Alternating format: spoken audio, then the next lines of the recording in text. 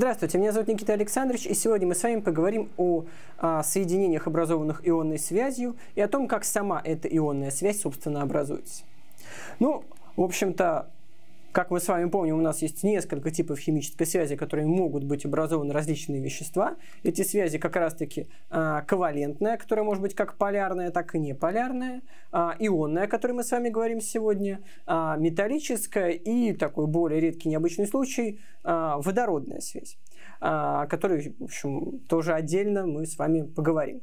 Сегодня мы с вами рассматриваем именно ионную связь. И э, самое простое, что здесь надо понимать, это то, что ионная связь в принципе это связь, которая, как правило, возникает между металлом и неметаллом. Ну, это условность.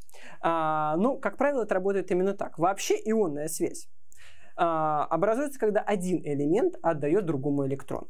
В результате тот элемент, который электрон отдавал, да, он по сути своей был донором электрона, превращается в катион.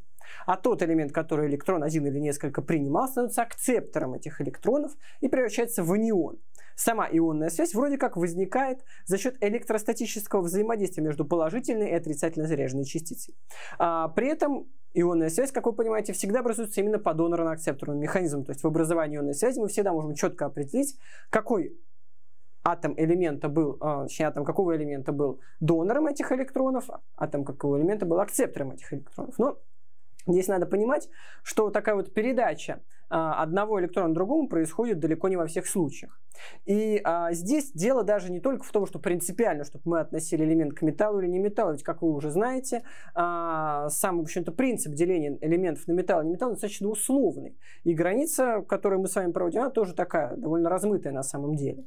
А, по большому счету, те элементы, которые находятся близко к ней, могут проявить как те, так и другие свойства, поэтому для того, чтобы связь была чисто на 100% гарантированно, гарантированно ионной, важно не столько сам факт того, что один из этих двух элементов металл, другой не металл, как то, что разница между их электроотрицательностью достаточно значимая. Что значит достаточно значимая? Это значит, что по полингу разница в их электроотрицательности должна быть больше двух. Ну, понятно, что нам в школе не предстоит все это рассчитывать. А, в школе мы пользуемся условным упрощением и условно для себя считаем, что если у нас связь между металлом и металлом, то она четко ионная. И в принципе, что все соли, да, там, например, э, во всех солях, да, во всех основаниях присутствует обязательно ионная связь. Собственно, вот еще раз, как она образуется. А, один элемент передает электрон другому элементу. Зачем это делать?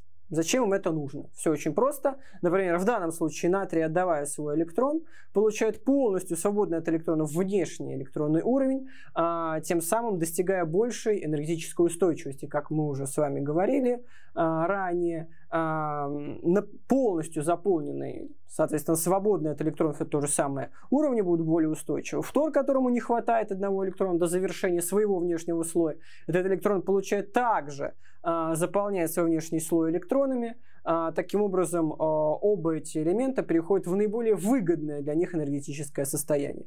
После того, как этот электрон был передан, натрий приобретет заряд плюс, второй заряд минус, они начнут притягиваться просто потому, что плюс и минус притягиваются. Ну, это уже физика, от этого никуда не деться. Химия, она не зиждется, как мы с вами знаем. Таким образом, а, да, у нас обязательная обязательные условия для того, чтобы связь была ионной, это большая разница в электроотрицательности. Условно мы с вами считаем, что ионная связь возникает между металлами и неметаллами, либо между условно кислотными остатками и катионом аммония. В принципе, катион аммония по своим каким-то позициям очень похож на катион калия.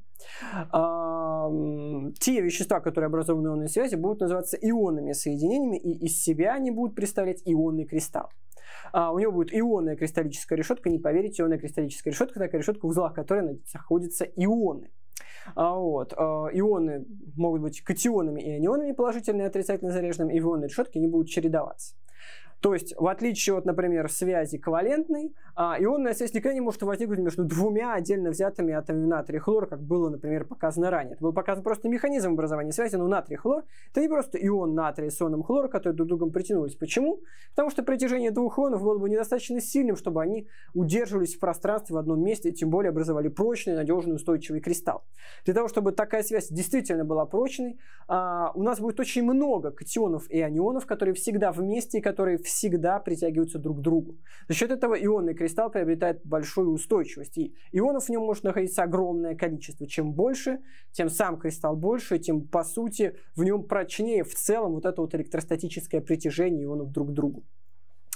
А, также понимаем здесь тот факт, что а, у нас с вами ионы могут быть различные, на которые образуют а, ионную кристаллическую решетку. И ионы кристалла также могут быть различными, но да, всегда их там будет большое количество. Поэтому, когда мы с вами пишем молекулярные формулы для ионных соединений типа натрий 2СО4, натрий хлор, калий НО3, формулы, к которым мы с вами давным-давно привыкли, мы понимаем, что эти формулы тоже отражают условность. Мы пишем их как бы для молекулы, хотя на самом деле эти вещества ни разу не молекулы. Это ионные кристаллы. Мы не можем с вами взять молекулу натрия НО3, потому что это вещество не молекулярного строения, оно состоит из ионов. И в природе мы не найдем а, одну штучку, где катион натрия связан с ионом НО3. Они просто давно бы развалились и не связались. Это всегда будет кристалл, где таких катионов натрия и анионов внутри будет достаточно большое количество. А, поэтому надо понимать, что мы пишем формулу натрия внутри, подразумеваем молекулярную формулу. На самом деле это соединение иона, и там в нем далеко не один атом натрия, далеко не один а, нитрат ион. Их там очень много, и наши с вами индексы в молекуле натрия внутри, да, которые мы написали, отражают не молекулярное строение, то есть там, что у ионных соединений не может быть молекулярное строение, а условно отражают соотношение натрия внутри.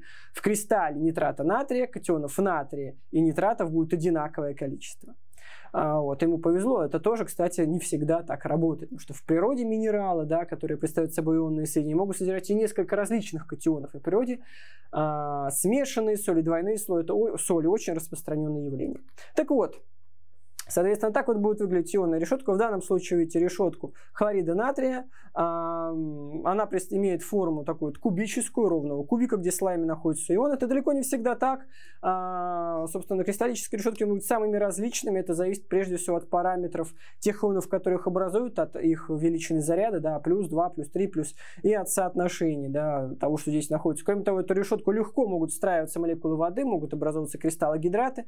И в природе большинство ионных соединений находится в виде кристалла гидратов, там вместе вот с этими катионами и анионами туда же налипают еще огромное количество молекул воды, порой гораздо больше, чем самих этих ионов. А, в данном случае можете обратить внимание на то, что несмотря на то, что атом а, точнее, атомный радиус натрия значительно больше, чем у хлора, да, не одну в периоде, но натрий левее, а хлор в самом концу справа, в конце справа, да, а мы понимаем, что у хлора радиус маленький, у натрия большой, и у ионов эта ситуация меняется.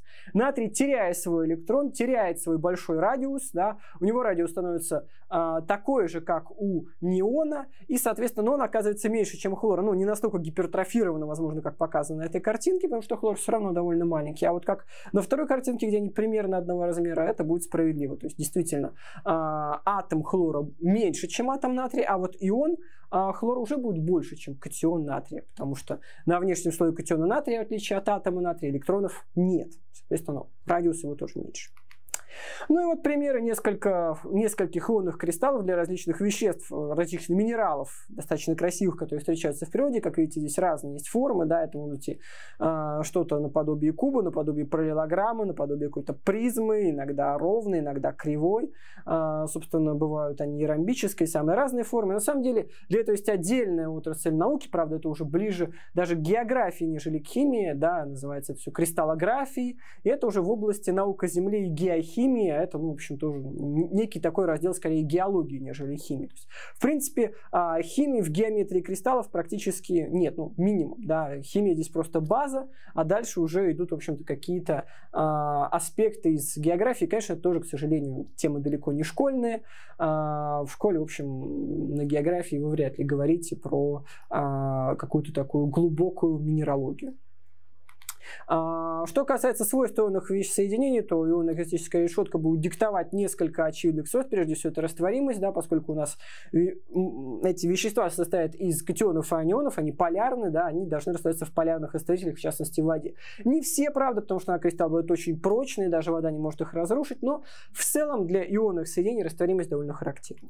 Второй момент это хрупкость. А, почему хрупкость? Потому что если мы наносим какой-то удар, и у нас слой а, один этих ионов смещается относительно другого. Как только положительно заряженные ионы оказываются друг напротив друга, кристалл, естественно, раскалывается, и обратно, естественно, его уже не склеить. Третий момент – это тугоплавкость. А, для того, чтобы расплавить такой ионный кристалл, потребуются очень большие температуры, поскольку, опять-таки, ионные кристаллы прочные. А, и твердость, несмотря на то, что они хрупкие, они все равно твердые, поцарапать что-то такими минералами легко. Многие минералы по шкале твердости Моуса будут гораздо тверже, чем стекло, которое, в общем, образовано уже атомной кристаллической решеткой.